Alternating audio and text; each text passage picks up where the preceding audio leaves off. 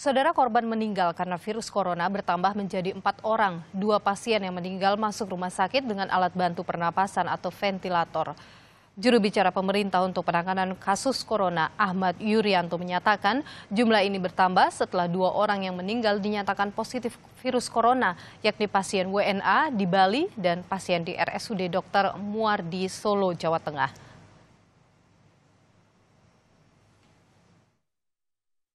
Yang pertama, kita identifikasi sebagai kasus nomor 35, perempuan 57 tahun, masuk ke rumah sakit sudah dalam keadaan menggunakan eh, ventilator.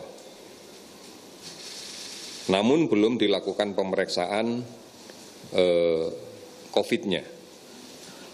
Kemudian perburukan menjadi cepat, hari itu juga meninggal. Hasil dari spesimennya ternyata positif dan sudah diserahkan ke Dinas Kesehatan Wilayah untuk dilakukan tracing. Saya lanjutkan pasien 36. Hal yang sama juga terjadi pasien 36 perempuan 37 tahun masuk ke rumah sakit dua-duanya di RSPI, masuk ke rumah sakit dengan menggunakan ventilator,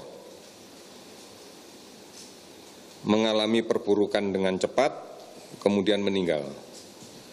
Setelah kita lakukan pemeriksaan spesimen, ternyata positif.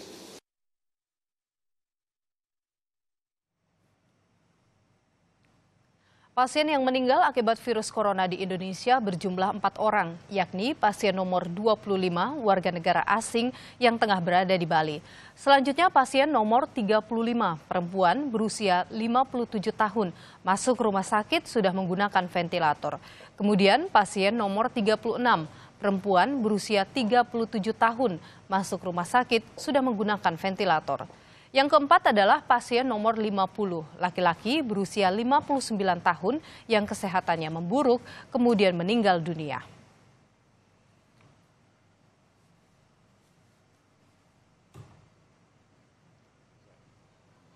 Sementara itu pasien positif corona nomor 1 dan juga 3 dinyatakan sudah sembuh.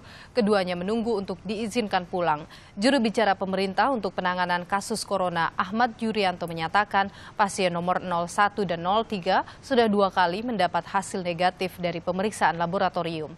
Selain pasien 01 dan 03, pasien 02 juga berpotensi sembuh dan masih menunggu hasil pemeriksaan kedua.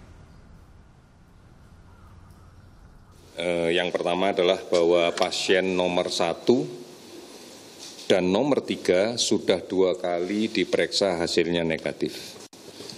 Artinya nomor satu dan nomor tiga sudah diizinkan pulang.